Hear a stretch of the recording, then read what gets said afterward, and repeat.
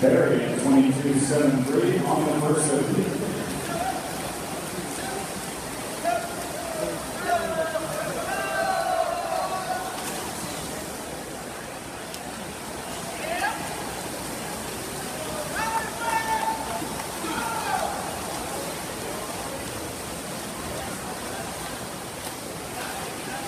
Forty-seven sixty-one, Josh Walsh, taking the lead there for Memphis Thunder. Smooth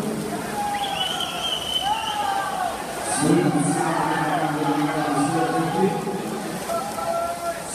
down to Christ Year's Island, we're on three and one and four, and on the outside, one for Gloria, trying to get nine.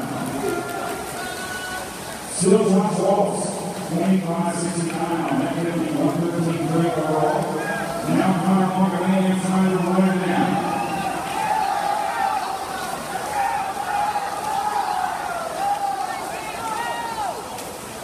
Waltz, Long, and Warrior in that order as they race for the finish.